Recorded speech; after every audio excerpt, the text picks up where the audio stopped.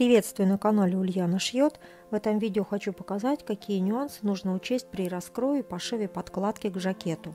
К середине спинки закладывается припуск на свободу облегания от 3 до 6 сантиметров. Я ткань сложила в два слоя и от сгиба отступила полтора сантиметра, то есть припуск у меня будет 3 сантиметра.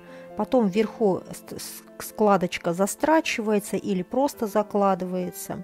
Припуск к нижнему срезу на 2 сантиметра короче припуска жакета. То есть если он у меня был 5 сантиметров, то здесь будет 3 сантиметра. Если после примерки жакета вносились какие-то коррективы, их нужно учесть при раскрое подкладки. Вот моя подкладка без рукавка уже готова.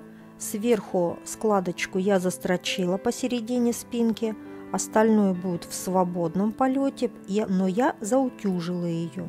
Какие-то незначительные корректировки можно сделать и после сшивания деталей.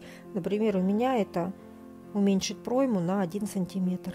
При втачивании рукава в пройму головку по окату рукава можно не припосаживать, а заложить складочку – я вот люблю закладывать такую бантовую складку. И еще такой маленький нюанс. Припуски на тушке с жакета и рукаве лучше заутюжить в разные стороны. И по воротнику. После втачивания воротника я припуски разутюжила, сделала насечки, чтобы все легло ровно без заломов.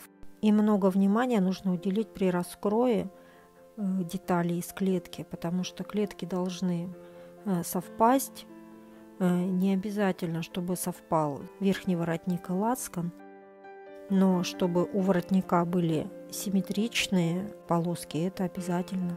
У меня специальной задумки не было, чтобы совпали клетки и на воротнике, и на лацканах. Но вот так получилось, и это здорово. Вот такие нюансы мне хотелось осветить. Следующий этап – это пришивание подкладки к жакету – Подписывайтесь на канал Ульяна Шьет. Спасибо вам большое за лайк, пишите комментарии. Увидимся в следующих видео. Пока-пока.